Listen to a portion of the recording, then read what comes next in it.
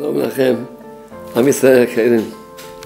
ממש ערב ההילולה של אדוננו, מורנו, רבין, רבנו, רבי מאיר, התנא אלוקאי, רבי מאיר בנס, מאז ועד היום פועל ישועות. באמת, הגמרא מספרת אפילו גוי, אמר לגוי שהוא היה צריך ממנו טובה, אמר לו, מה יהיה אם יתפסו אותי או משהו יהיה? אמר לו, תגיד, אלהה דמאיר ענני. אפילו גוי, באמת ככה היה. מי שיכול להגיע לקבר של רבי מאיר, מצוין. מי שלא יכול, בבית שלו ידליק נר, וכבוד התנא יגיד, ויגיד אלהה דמאיר ענני שלוש פעמים, ויבקש בקשה.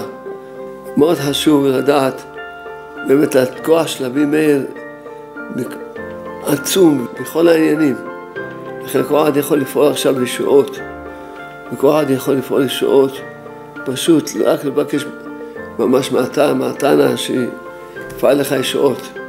ויהיה רצון שכולם נפעל ישועות ויהיה גאולה שלמה בקרוב אמן.